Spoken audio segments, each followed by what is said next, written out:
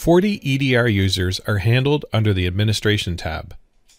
A user can be defined at a tenant level or as a hoster that is able to handle multiple tenants. I'm currently logged in as a hoster user and would like to manage the users of the demo tenant. We can see here that the demo tenant has one user already defined, and that's the level 3 SOC expert, John. We'll define a new SOC layer 1 user, Emma. When defining a new user, there are several details that should be provided. I'll start filling them out now. And you'll notice that we also specify the roles of the user that can include, among other permissions, the ability to run REST APIs for controlling the environment automatically.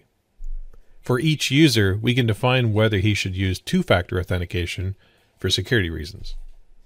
In addition to local users, you can also define authentication via LDAP for integration with your Active Directory or AD, or you can define SAML Single Sign-On SSO to authenticate users via your SAML identity provider.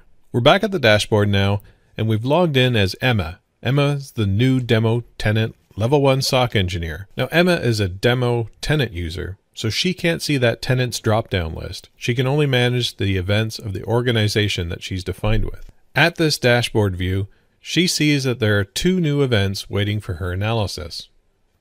So Emma drills down to the event viewer. By default, Emma sees only the events that haven't been set as handled, as she views by default the unhandled events filter. Emma starts with the first event. She sees that the process is a legit Microsoft process. Emma does know, though, that attackers can utilize this process for loading a malicious DLL, a technique known as DLL search order hijacking. Though Emma sees the malicious classification, she's not sure and would like someone more experienced to continue with the investigation. Therefore, Emma adds a comment on the event, referring it to John, our SOC Level 3 engineer. John, this event needs to be further investigated, and saves the event. Now John's logged into the FortiEDR console, and he sees that there are events waiting for him at the dashboard. John moves to the event viewer, and again by default he only sees the events that haven't been set as handled, as the default event filter is unhandled events. John now sees the event with Emma's comments.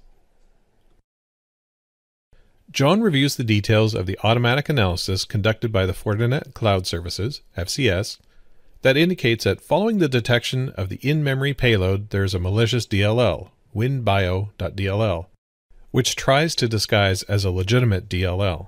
Before taking a manual remediation step on the whole tenant device, John would like to further analyze the event. So John then switches to the forensic view.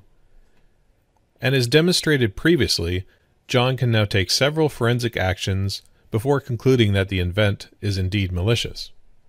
So now back at the event viewer, John writes a comment for Emma, at Emma, completed the analysis, and then he saves the event as handled.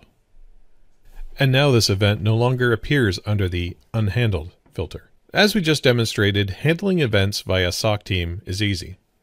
Note that the flow presented here represents a real zero-day Fin7 attack, which attempts to steal credentials from the device. There is a blog published on this one by our research team titled Introducing BIOLOAD, Fin7, BOOSTWRITE's Lost Twin.